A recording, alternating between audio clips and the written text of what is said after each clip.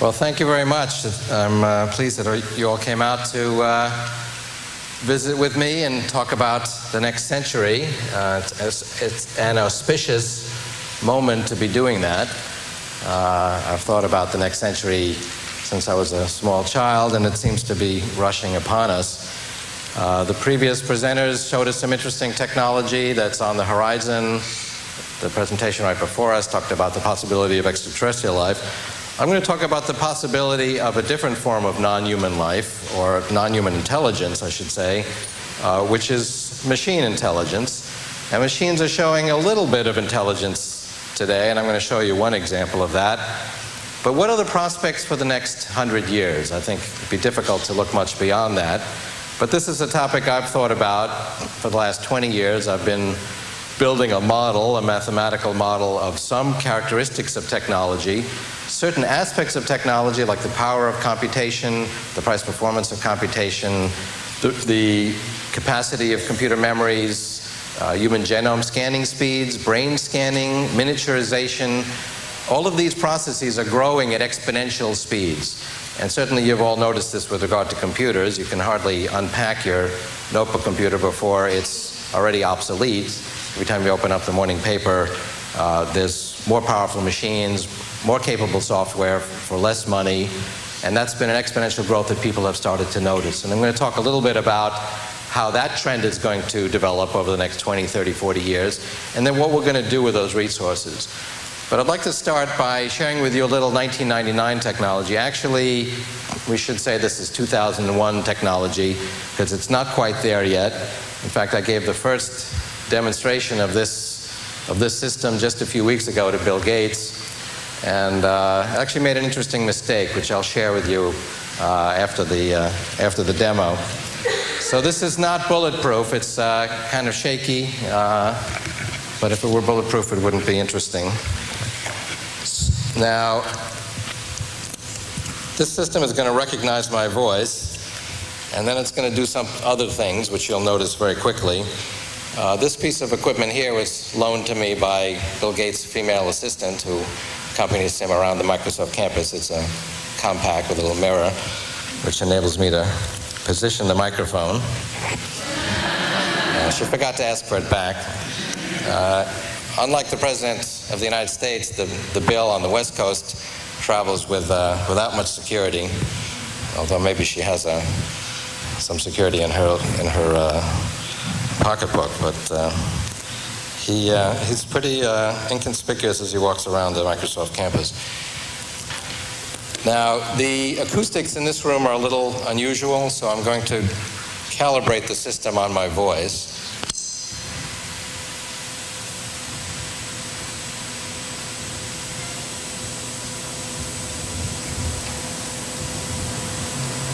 Testing.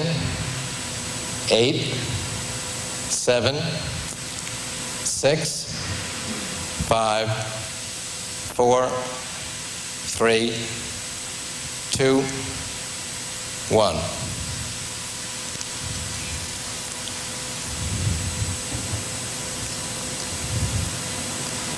It's very good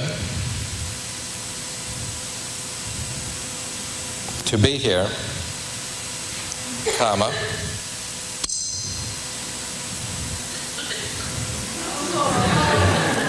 Okay, we got part of it done. Let's try it again. It is very good. It is, it is very good. It is very good to be here, comma. In ihm ist sehr gut, hier zu sein.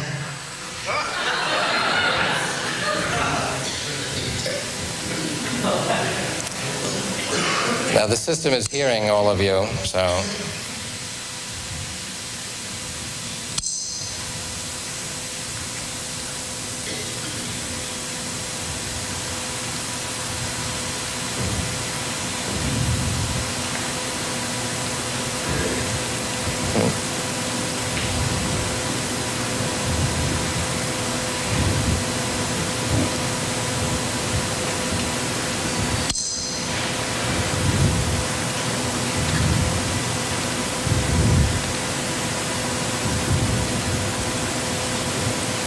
with everyone, with everyone, at America's Millennium, capitalize the last word,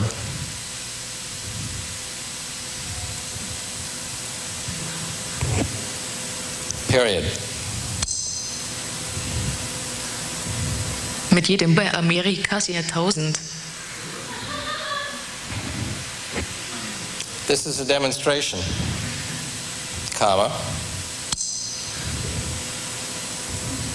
Dies ist eine Demonstration of a prototype of a quote translating end quote telephone, period. von einem Prototyp von ein, das Übersetzen Telefon. Within a few years, comma, Innerhalb einiger Jahre. We will be able to speak to anyone, comma, wir werden fähig sein, mit jemandem zu sprechen, regardless of their language, regardless of their language, period.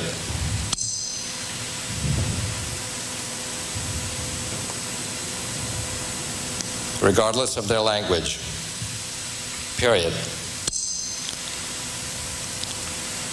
ohne Rücksicht auf ihre Sprache. Okay, let's try a different language here.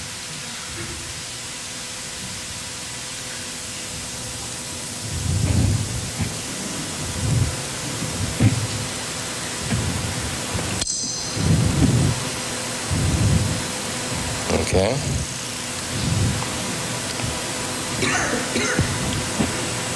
The rain in Spain, comma, La pluia en Espagne. Well, actually, I forgot to. That was the uh, German lady speaking French.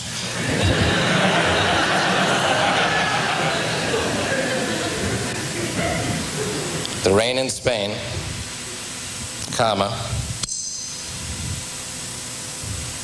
La pluie en Espagne. that's better. Stays mainly in the plain. Period. Reste dans la plaine principalement. Okay, we'll try one more thing. I'm going to speak French, not as well as the computer does, but the computer doesn't seem to mind.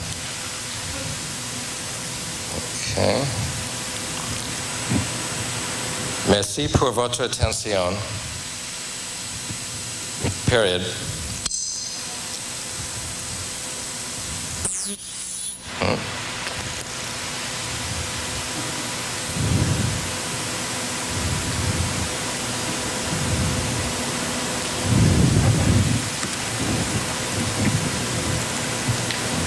see if it has the right translator. Okay.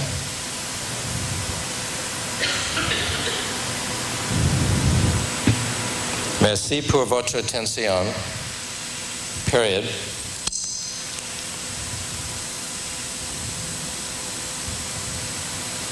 Thank you for your attention. She's a little slow. the French woman's a little quicker on the, on the uptake. J'espère que vous aimerez ma parole. Period.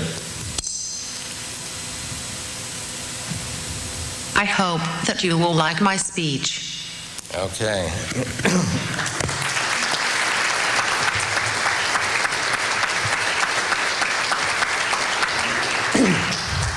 This was combining uh, three technologies, and I think some of the most interesting applications of artificial intelligence that we'll see over the next decade are systems that combine multiple expertise. Uh, this is speech recognition, and that's technology that I've worked on uh, since 1982.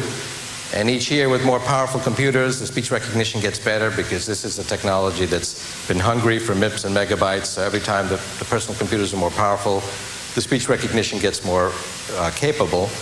And this can recognize people actually without being exposed to your voice. This particular version uh, has actually only heard me for uh, a few dozen words. Uh, the uh, speech recognition, as you saw on the screen, if you could see that, fed into a language translator. The language translations are not perfect, but they're actually quite adequate for translating things on the fly. So for casual conversations or business communication, it's really quite good. I use this translation software for web pages, so I can read web pages in, from Germany or from in Japanese, and it translates them on the fly. And uh, you def definitely get the gist of it. It's not literary quality. And that feeds then into a new speech synthesis technology. That's, that's an area of technology I've been involved in since 1974. The first synthesizers, and you've probably heard them, sound very mechanical and robotic, and most of the ones still out in the field sound synthetic. This actually sounds human. sounds like a recording of human speech, but that was not a recording.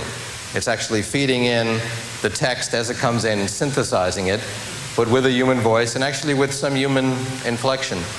Uh, and in about a year, uh, another version of this will be able to take a sample of your voice. You'll record a, a passage that it'll prompt you, and the synthesizer will then sound like your voice. So this translating telephone, you'll be able to speak English on your cell phone, and a friend of yours in Germany will uh, hear you in German. Uh, she'll speak in German, and you'll hear her in English in her voice. Uh, and it will be a significant technology breaking down language barriers. And as you can see, this is on the horizon. I mean, this is working in prototype form, and it's all running just on a notebook computer. Uh, within a few years, uh, this will be, I'd say within 24 months, will be available as a business service. Uh, within five years, this will be a routine service from your cell phone, so you'll just be able to call people up and just the way you select different options. Today, you'll just select, okay, I want the English to German, and you'll be able to speak to someone in another country, uh, overcoming the language barrier. Our ability to misunderstand each other will remain unimpaired, however. And this is a good example of some of the advantages of, of, machine intelligence. One advantage of machine intelligence, machines can share their knowledge. If I spend years learning French, and you saw the, exa- the, uh, the result of that, uh, I can't just download that knowledge to you. I can give you a tip on a good teacher and a good book, but you've got to learn that knowledge the same painstaking way that I did. But machines can instantly share their knowledge. This is a good example of that. We spent years training one research computer how to recognize human speech. And it started out by making errors, and it's actually a, a process that emulates using something called neural nets and Markov models, which are simplified mathematical models of the way we believe certain neural circuits work. And these methods are imperfect and they make mistakes, and we then correct the mistakes. We have thousands of hours of recorded speech uh, annotated with the correct uh, transcription. When the system makes a mistake, it's automatically told, no, that's wrong, this is what it really was, and it corrects uh, the, the sort of neurotransmitter concentration analogs in its software, and it makes, does a little bit better job the next time. And we've done this for years, gradually teaching one research computer to be better and better at recognizing speech, and now it's good enough to be a, a commercial product. Well, if you want your computer to recognize speech. It doesn't have to go through that same process of learning it painstakingly. You can just load the program instantly. My knowledge of French or any other subject, where, where is that in my brain? Well, it's, it's represented as a, as a pattern of information, extremely complex pattern of interneuronal connections and neurotransmitter concentrations. And we don't have quick downloading ports on those patterns to just load another pattern of interneuronal connections and and neurotransmitter concentrations and the other neural details that represents my learning. But as we build non-biological equivalents of these biological processes, we're not leaving out those quick downloading ports, so we can in fact load a pattern that represents knowledge, and that's one advantage of machine intelligence. Machines are also potentially much faster. It's amazing that our brains evolved through natural biological selection, but the circuitry that it came up with is very slow. The electrochemical information processes in our brain compute about 200 calculations per second. Our electronic circuits are already uh, 10 million times faster. Machines are also inherently can be much more accurate when, when they, we want them to be. I'm, I'm hard pressed to remember a handful of phone numbers. I didn't remember the address of this museum on the way over. but machines can remember billions of things with extreme accuracy, and sometimes we fault them for that. We say, well, machines are so precise, they could never deal with the kind of unpredictable, uh, imprecise uh, phenomena such as human emotion, but I want to come back to that because I think that machines are not barred from representing uh, ta- skills like recognizing and responding appropriately to human emotion. And that, in fact, represents, I think, the cutting edge of human intelligence. Emotion is not something kind of stuck on on the side. Our ability to be affectionate, to love, to recognize humor, to get the joke, to be funny, to, rec- to recognize fear, these, these human emotions is really the cutting edge of human emotions. These are the most complex things we do, the most difficult things to recreate in a machine, and indeed we have not yet done so. But I'm going to talk about some scenarios where machines will be able to achieve these kinds of uh, complex, subtle, rich, deep, unpredictable skills that humans now excel in. And when they combine that with the advantages that they already have on sharing knowledge, speed, and mem- accuracy of memory, that will be a very formidable combination. And then I'd like to touch upon what that will mean for the human machine civilization, because I think this is part of the human machine civilization. It's emerging from it. We're already very intimate with our computers, but I'll, but I'll come back to that. If we want to talk about where machine intelligence is going, there are two aspects to consider. One is the hardware capacity, the basic speed, memory capacity of computation as, as compared to the human brain, because the computers today, like this machine here, it doesn't have all of the subtle, endearing qualities that we associate with humans. Because, for one thing, it's a million times simpler than the human brain. It has a million times less capacity than the human brain. So, just basic capacity is a necessary but not sufficient condition to recreate human intelligence. The other aspect, then, is the software, the organization of those resources. But let's talk first about the basic hardware uh, requirements for emulating human intelligence. We have about 100 billion neurons, or an average of about 1,000 connections from one neuron to another. That's 100 trillion connections. The calculations or information processing takes place in the connections. So that's 100 trillion fold parallelism. We have 100 trillion things going on in our brains at the same time. And that's one of the architectural uh, aspects of the human brain that allows it to be as powerful as it is. As I mentioned, those, those calculations are very slow. 200 calculations per second times 100 trillion is 20 million billion calculations per second, or 20 billion MIPS. And this right here is maybe about 500 MIPS. So we have a ways to go in terms of basic capacity. Now, how many people here have heard of Moore's Law? Well, many, many hands went up. E- even three or four years ago, uh, very few hands will go up. Five or six years ago, even in a technical audience of computer science people, not that many people were familiar with this phenomena. But it has become quite evident with all of the devices that you're using becoming more and more powerful at a very fast uh, rate. Computers and the basic electronic uh, technology that they're based on are, is growing exponentially. And Moore's Law, which states literally that the size of a transistor, which are not quite this big, but they're microscopic in size, but they're growing, they're diminishing by 50% every two years. So every two years you can put twice as many transistors on an integrated circuit. So that's twice as much stuff, twice as much memory, twice as much computation uh, for the same price every two years. Because they're smaller, the electrons have less distance to travel, so they're actually run twice as fast. So you have twice as much stuff running twice as fast. That's a quadrupling of the price performance of computation every two years. But within, and there's arguments, I've been on panels where people, where the pessimists say 10 years and the optimists say 20 years, but that seems to be the span. With 10 to 20 years from now, those key features of the transistors will be just a few atoms in width. We won't be able to shrink them anymore. So will that be the end of this glorious exponential growth of computation that we've seen in recent years?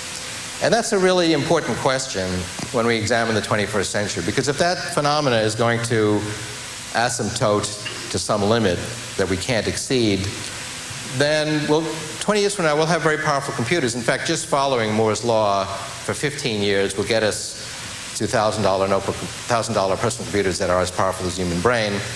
But then it would level off. Or alternatively, if this phenomenon is going to continue through the 21st century, that's quite a different vision of the future.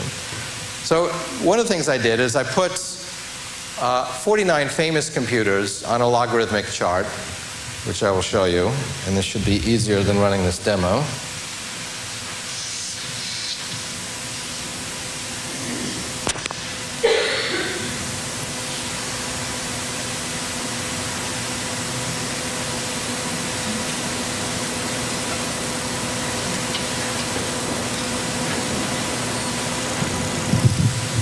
Okay, this is uh, an exponential chart. As you go up to a, another horizontal line, it, uh, it represents multiplying computation by a factor of 100. So a straight line on, on a chart like this would mean exponential growth. And in case you can't see the actual numbers, it goes from 1900 up to 2000. So at the lower left, there's the uh, computer that was used in the uh, 1890 census. Uh, 1940 is the computer that Turing used uh, to uh, crack the German Enigma code, to give a transcript of all the Nazi messages to Churchill, who actually refused to use them. So when he was warned that Coventry was going to be bombed, he refused to warn Coventry because he was afraid that uh, the Germans would uh, realize that their code had been cracked. But then in the Battle of Britain, he did use the information, and it enabled England to win the Battle of Britain. Uh, otherwise, we wouldn't have had a place to launch our D-Day invasion.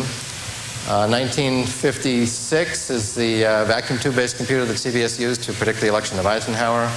The upper right-hand corner, there's the computer you just bought your nephew for Christmas. And one thing that we can see is that this exponential growth of computing didn't start with Moore's law, because Moore's law is the law of integrated circuits. It started back in 1900 with electromechanical computing, Moore's law is not the first, but the fifth paradigm to provide, provide exponential growth of computing. We had electromechanical calculators, relay-based computers, vacuum tube-based computers, discrete transistors, and now integrated circuits. The other thing we see is that that's not a straight line. That's another exponential. There's actually exponential growth in the rate of exponential growth. We doubled computation every three years at the beginning of the century, every two years in the middle of the century, now we're doubling it every one year. So what, what, we see is that every time a paradigm was going to run out of steam, some other paradigm was there waiting in the wings to take over. There were shrinking vacuum tubes in the 50s, and finally they couldn't shrink them anymore and still maintain the necessary vacuums. Transistors came along, which are not just a small tube, it's a completely different paradigm. Paradigm shift keeps the exponential growth going. And the sixth paradigm is already working in laboratories, uh, which is molecular computing in three dimensions. Chips, even though they're very impressive and very dense, the features are very small, are flat. There's only one layer of circuitry, and our brain is organized in three dimensions. We live in a three-dimensional world. Why not use the third dimension? And one technology called nanotubes, which is building electronic circuits out of pentagonal arrays of carbon atoms, is working in laboratories. And this is uh, building electronic circuits at the molecular level uh, in three dimensions. So a one inch cube of nanotube circuitry would actually be a million times more powerful than the human brain in basic capacity. And there are actually seven or eight different technologies being developed to compute in three dimensions. If we, if we look at where this will take us in the 21st century,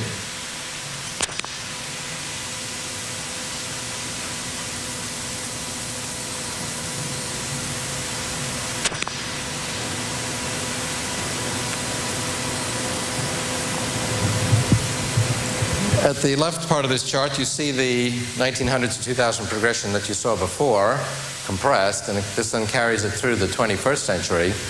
Uh, and this is actually conservative because this actually only projected one level of exponential growth. It's actually two.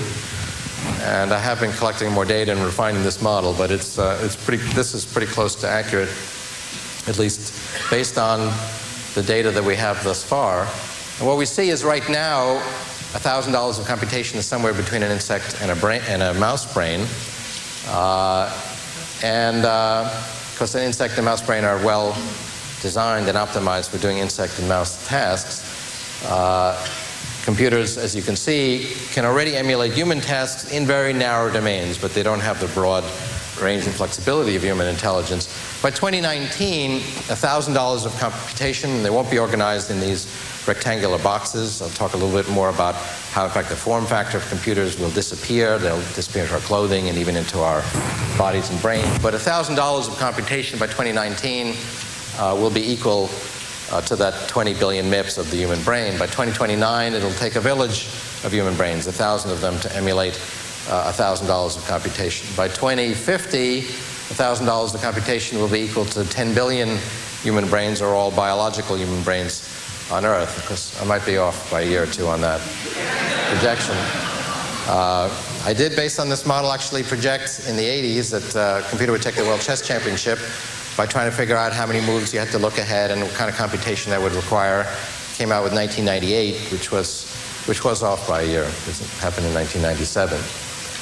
And if we look at this, even just using the Moore's Law paradigm, we will get to human brain and beyond uh, capacity in, in computers uh, before 2020.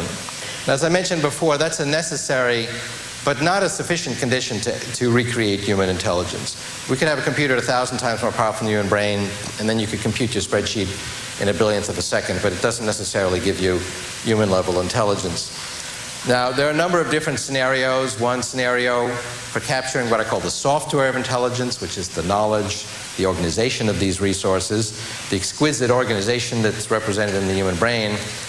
One paradigm is to continue the work such as uh, speech recognition and, and, all the work that's being done in artificial intelligence in, in many different areas, some of which is inspired by biological models. But in the limited time I have, I'd like to just share one, I think, compelling scenario, which is we have an example of human level intelligence. We have 300 of them in this room, which is the human brain. And its methods are not hidden from us. We can already see inside the skull with, with brain scanning methods. And I mentioned earlier that brain scanning speeds and resolutions and bandwidths are also growing exponential. If, if you put that on a chart, you'd see the same kind of exponential growth in brain scanning, fueled in part by faster and faster computers. We can already see individual somas or nerve cells uh, in, in the brain. Uh, but here's a particularly uh, interesting scenario because it uses all technology that we can touch and feel today. There's already a scanning technology which if we put the scanning tip right near the neural features, is able to scan the human brain with, with enough resolution to see every neural detail that we're interested in, the interneural connections, the neurotransmitter concentrations, the synaptic clefts, and so on. So all we have to do is then take that scanning tip and move it around in every spot in my brain and be able to capture a complete picture of my brain. Well, how are we going to do that without destroying the brain? Well, the way we're going to do that is we're going to shrink these scanners down to the size of, of blood cells and send them as little, what I call nanobots or nanorobots, uh, the, which are scanning robots the size of blood cells and send them through the human brain and as they travel through the capillaries of the brain, they will travel by every neural feature. We need billions of them. And this is something that's actually feasible today except for the size and the cost.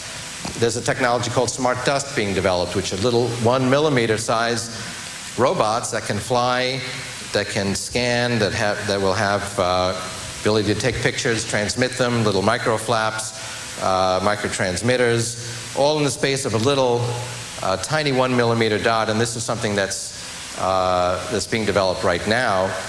All the technology I'm describing can be built today, except we can't make billions of them inexpensively enough, and we can't make them small enough. But those exponential curves, where we can project the exponentially growing price performance, reduction of cost of electronics, and the exponentially shrinking uh, size of technology and miniaturization. Currently, we are shrinking technology. You've all seen this in your lifetimes of technology getting smaller and smaller. We're shrinking electronics, for example, right now at a speed of 5.6 per linear dimension per decade.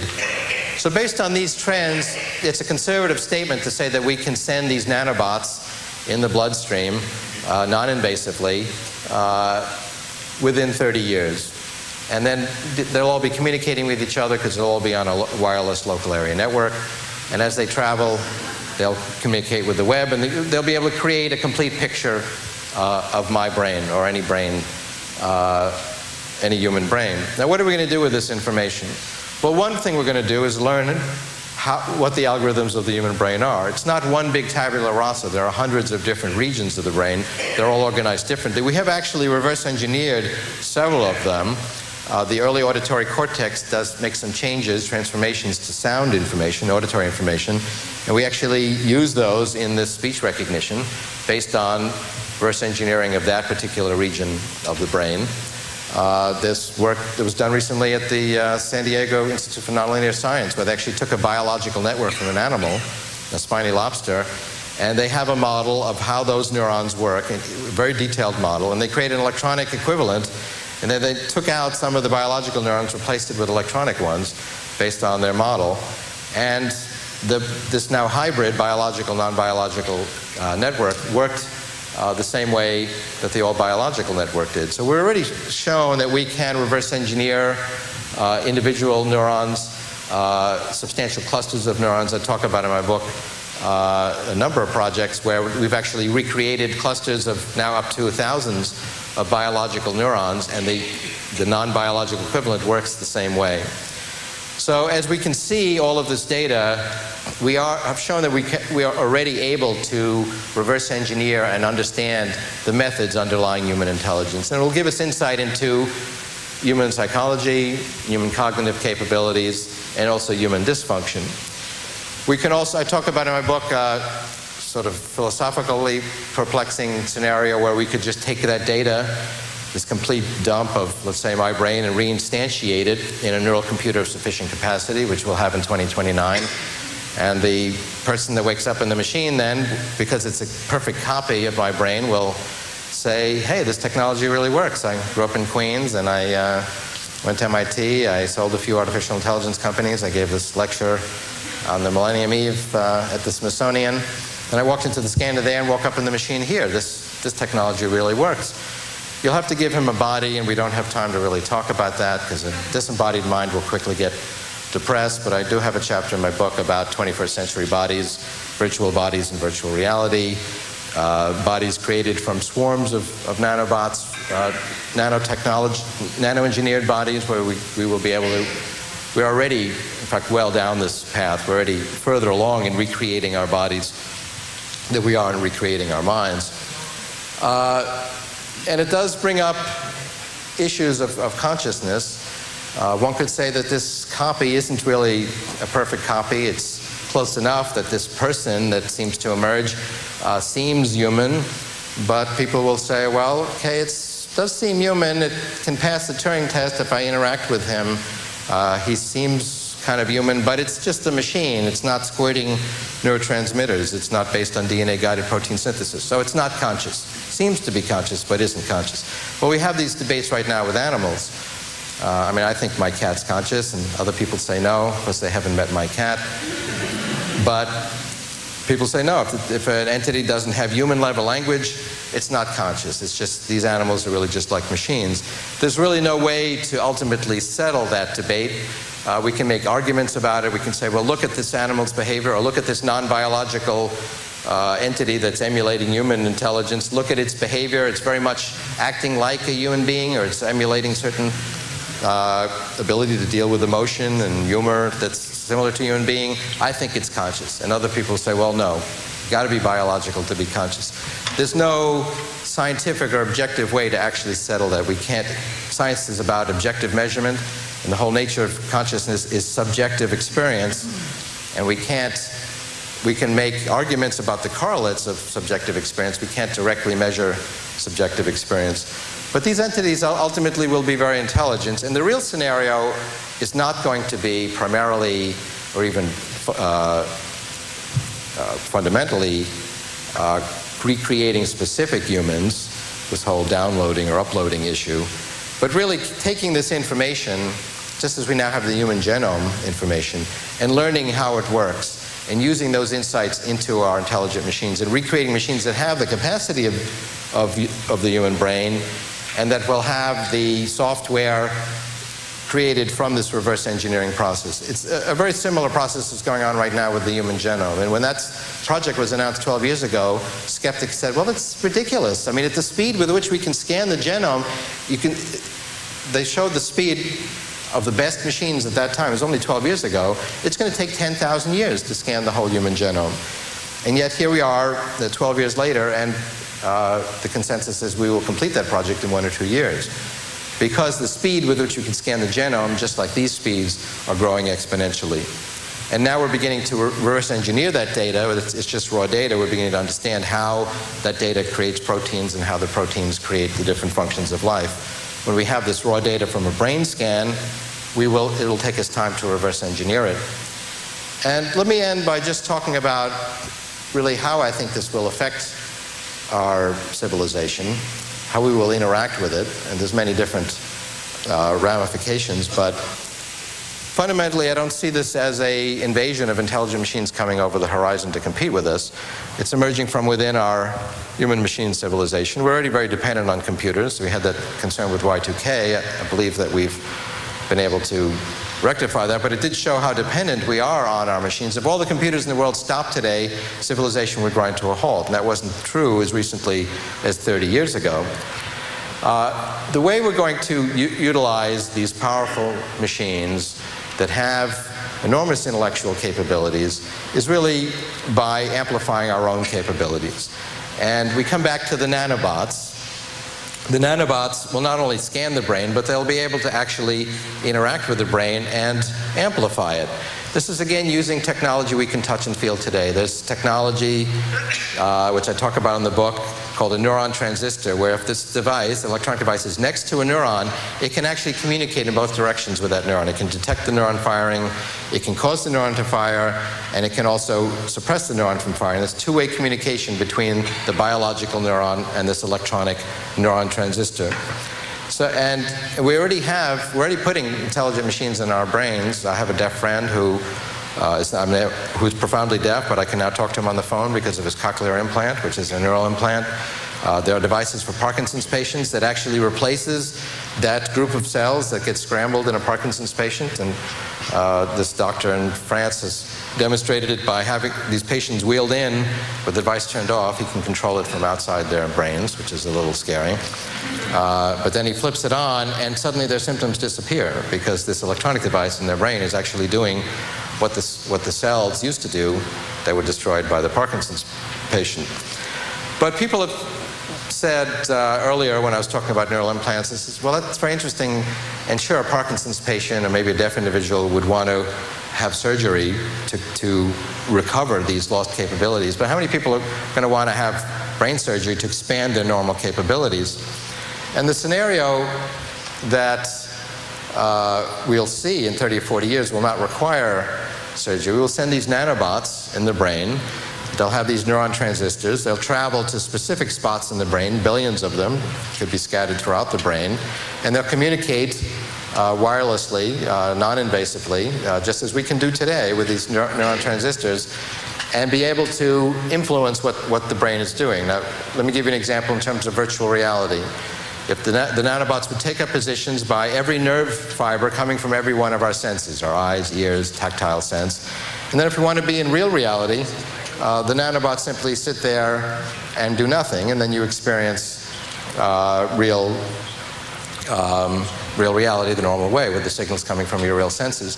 If you want to experience virtual reality, the nanobots shut down the signals coming from your real senses and replace them with the signals that you would ex have experienced if you were in the virtual environment. The computers will figure out what that should be and, and, and create those uh, signals. Very much like the virtual reality that you can experience today in arcade games that require these bulky helmets. That's crude, the resolution's low, technology always starts out crude, but this will be virtual reality from within. It'll be be just as detailed as real reality. And that'll be the nature of the World Wide Web in 2029. Going to a website will mean entering a virtual reality environment. And you can go there by yourself or you can go there with other people. So if uh, you and I were in this virtual environment, then when you decided to lift your hand, uh, the nanobots would suppress your real hand from, from moving. Instead, it would move your virtual hand. You'd see it move up in front of your face, and I'd see you move your hand up in front of your face. And then if we shook hands, I'd feel your hand, you'd feel my hand, you'd be able to interact uh, with other people in, in virtual environments. Meetings like this would be, we wouldn't have to be in the physically the same geographic spot, and we wouldn't have to, I mean, this is a lovely auditorium, but we could met in a Mozambique Game Preserve or on a Cancun beach and feel the warm, moist air against our faces and so forth. And that'll be the nature of the World Wide Web in 2029. These same nanobots can also then expand our cognitive capabilities. They can create new neural connections. Uh, a neuron over here and a neuron over here can actually create a new interneural connection. It's not physical, it's virtual because they're communicating wirelessly, because as I mentioned, they're all on a wireless local area network. So they can actually expand our memories, expand our cognitive and pattern recognition capabilities. And 20, this technology will begin to be feasible in 2030, but by 2040, 2050, when you meet a person who's an ordinary person of biological descent, uh, they will have normal biological processes in their brains, but they will also have uh, these non-biological processes. And we'll begin to see some of this quite soon. Uh, first, not inside our brains, but I just uh, actually a few months ago wore these gla special glasses that paint images right on your retina. And I'd say by 2004, 2005, uh, computers like that will disappear. Certainly by 2009, you won't see them anymore. Uh, the displays will be painted right on our retina. That can create a virtual display that hovers in air, or it can actually create fully immersive visual uh, virtual reality. Similarly, discrete devices can provide the auditory uh, portion of virtual reality. So at least visual and auditory virtual reality uh, will be something we'll actually walk around with by 2009. And, and, and, that's certainly sufficient for, for meetings like this. The tactile sense, uh, th there's will be physical devices that'll provide the tactile sense. So people can have all kinds of encounters from business negotiations to sensual encounters in virtual environments. The virtual reality from within, which is really what's required to be fully convincing and completely uh, place us in a virtual environment that includes aromas and, and all kinds of physical sensations. That we won't begin to see till 2030. But 2040, 2050, uh, virtual reality will be so compelling that we'll be spending more and more of our time there. And this is a technology which will be expanding human intelligence. That's the primary application I see of this technology becoming more and more intimate, first being woven into our clothing and in our eyeglasses and in and around our bodies, and then finally making its way into our bodies non-invasively, expanding our ability to experience environments, expanding human capability. Uh, these virtual realities, in fact, can not only enhance our visual, auditory, and sensual experiences, but can also enhance our emotional reactions. I talk about neurological correlates of emotion in the, in the book. Uh, there's many rich implications of this kind of technology, but I think that's what we will see for, for, this first half of the 21st century is a great expansion of human capability and experience and creativity through this very intimate connection with non-biological intelligence. Well, thank you very much. I think we, do we have time for a couple of questions?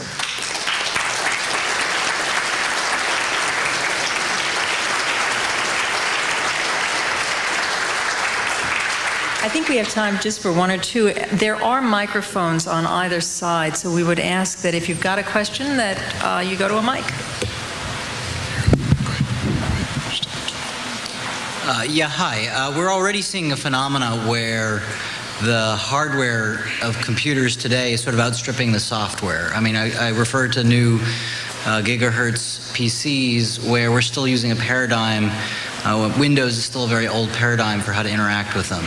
Uh, do you see a similar thing happening where the hardware, according to your chart, is getting powerful, but our software really is A, inadequate, and B, doesn't take advantage of it, and C, doesn't enhance the experience? Well, I think software using some of the old paradigms including some of the old artificial intelligence paradigms like expert systems, where you try to hand code every rule, uh, is being outstripped and will be outstripped uh, by these very powerful uh, hardware architectures. What we need to do is emulate biological systems, and that's, that's the area of software that I've been in, which is pattern recognition, where we actually create systems that are not programmed in advance, that learn from their own experiences, that are able to correct their errors, and are actually patterned on at least the crude models that we have currently of, of how uh, biological neural networks work. And that's uh, an example is the speech recognition. Now, this system here uh, automatically will become more powerful as we get more powerful computers because it can scale its own capability. And we've tried it on computers that are 100 times more powerful, and its accuracy uh, and ability to deal with language goes up dramatically. So we already have systems that are where the software is actually ahead of the hardware. But in order to really fully capture the subtleties of human intelligence, even understand what that is, uh, will require reverse engineering the human brain. And I talk about in my book many examples where we're doing that already on a small scale, but that's really where some of the future secrets of, of software uh, based intelligence will come. Could you tell me, could you foresee this technology of essentially granting indefinite length of life to human beings? And secondly, can you foresee that these artificial intelligence could become like HAL in uh, Space Odyssey 2001 and sort of override a human host? Well, there's two very interesting questions. I'll try to answer them quickly. Uh, when you get a new personal computer, do you throw all your files away? No, you copy them over to the new computer. Your files have a longevity that's independent of the hardware they, they reside on. If, you, if the hardware dies, hopefully you've made a backup and you can uh, recreate those files. So the files do not live forever because if you ignore them, they'll get out of date and the formats will change. If you've tried to uh, recreate some old uh, file from a 1970 mini computer, you'll know what I'm talking about.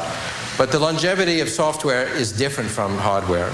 But we have information in our brains also, and in fact, I've estimated that at thousands of trillions of bytes of information. There's information there representing my skills, my memories, my uh, recollections, and so forth. And right now, there's an intimate nexus between the longevity of that mind file and the hardware. When the hardware dies, our personality, all that information uh, dies with it. When we have the ability to capture it, uh, that file can live beyond the hardware and can be reinstantiated in other hardware. It raises a philosophical issue. Is that me? Or is that somebody who does a very good imitation of me, uh, but is really somebody else?